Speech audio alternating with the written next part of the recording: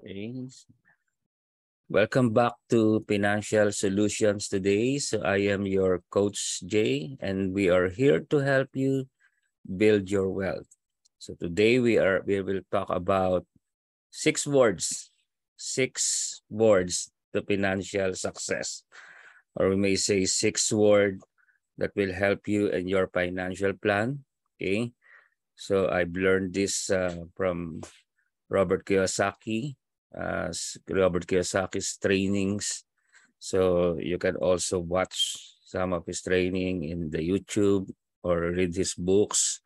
I have also his, his books and will really help you a lot. Okay. So let's talk about that. What is that six words? Six words to your financial success. Okay? Ayan. So we will uh, illustrate it. So we have here, we have the income, that's the first word. Then we have the expenses, that's the second word. Then here, we have what we call the asset versus the liability. So this is something that you build. So the question is, where does your cash flow? Okay. So meaning, for example, if you buy a car, where does your where is what is car? Is it asset or liability? So the question is, what is asset? What is liability? Asset, if you acquire this, it will bring money to your pocket. Okay.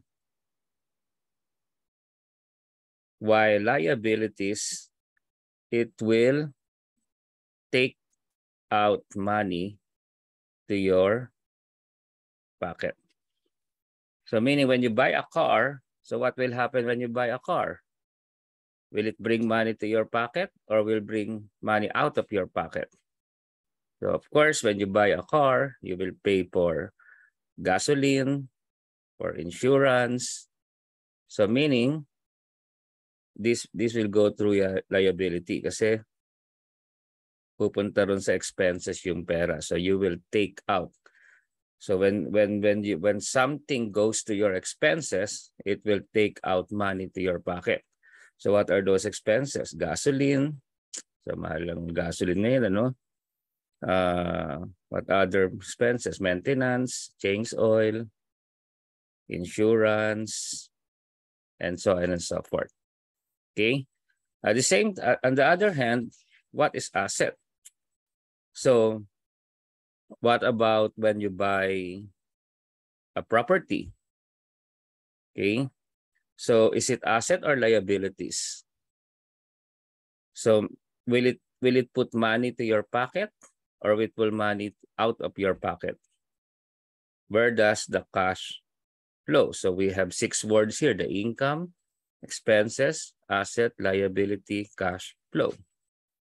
So pag bumili ka ng bahay or bumili ka ng properties, it depends. Yung bahay itself, the building, it may be a liability. Okay, the house itself can be a liability because there's also a maintenance. There is taxes in your house. Okay, so let's clear this out. So again, these are the six word. So we have will it put money to your pocket? So meaning that's income. You're making money here. Or it will take out money to your pocket. So that expenses. The source of your cash flow. Where does the cash flow? Is it asset or is it liability? Okay. So here, kanina sinabi na natin yung car, is liability because ang daming gastos. Yung house, it can also liability dahil may mga maintenance din siya, may mga taxes, and the most important thing is the value of the value of pag liability, the value always depreciate. While in asset, the value appreciate. How about when you buy farm lot? Um, yes, for example, you buy farm lot here, it can be asset. Why? Because the value goes up, pero kailan siya magdadala ng income? Kailan siya magdadala ng pera to your pocket? Maybe in the years to come. So, meaning, magig ang farm lot, pwede siya maging uh, income producing asset kung halimbawa ipapalis mo siya or you will uh, put a plantation wherein every now and then it put monies to your pocket so it becomes asset. At the same time, there are also liabilities. Liability can also be converted into what we call income producing asset. Why? If this car is used in business, So meaning, kung halimbawa ang gastos mo sa gasolina ay 1,000 pesos, but it brings, ginamit mo siya sa negosyo, then ang negosyong nakuha mo is 2,000 pesos, 1,000, 2,000 minus 1,000, then it brings 1,000 to your pocket. Are you learning? So that's the difference between asset and liability. Even this house, how can you turn this house into an asset. If you put house here, then you can turn this into a rental. So pag may rental monthly, it put pockets to your, it put money to your pocket. So meaning, this is the solution that we need to have, we need to uh, learn every day of our life. No, how are we going to put money to our pocket?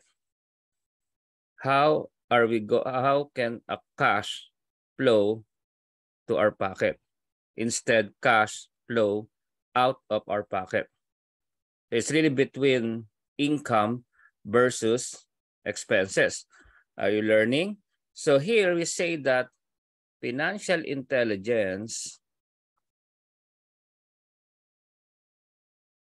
okay so financial intelligence is the ability to, to control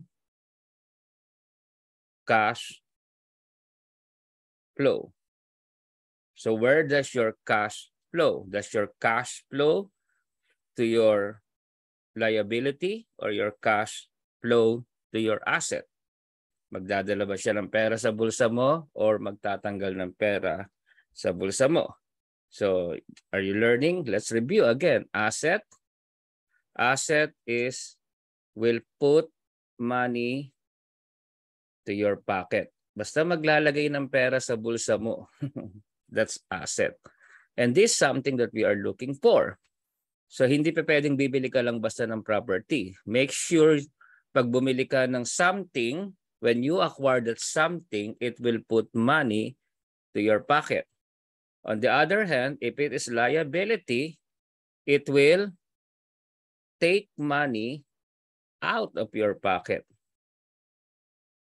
Okay, so when you buy a car, you pay for gasoline. So in, in short, asset gives you income where liability is your never-ending expenses. Are you learning?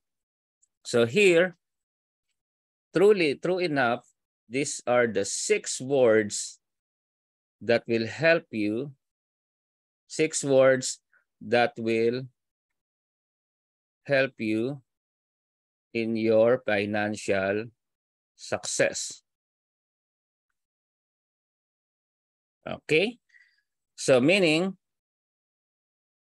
financial IQ, financial IQ here is can you control cash flow? So meaning every day of our life, we have to look for something that will bring money to our pocket. So hindi ka lang basta bibili ng property. Kasi kung yung bibili ka lang lang ng property, tas nakatiwangwang lang yung property, it will not put money to your pocket. Okay? So mag-aantay ka pa ng number of years. Pero kung bumili ka ng property, tas pinarentahan mo agad yung property na yan, pinataniman mo, that will bring money to your pocket. Are you learning? So that's why in this one, so financial IQ is can you control cash flow? And that IQ, that will lead us, ang ibig sabihin ng IQ dito is how big a problem, how big a problem can you solve? So meaning, everything can be solved through this financial IQ. And this is, you have to find a way to put money to our pocket. Okay? So I hope that uh, you will uh, continue to, you will, uh, may I request everyone to please subscribe to Financial Solutions Today channel. Please don't forget also to like and to share it to everyone that needs this a particular topic. And also in our own life that we may be able to apply this. Okay, so in LSA, we have a lot of program and this is really the focus of the program, how to put money in our pocket. Thank you so much, everyone. God bless everyone.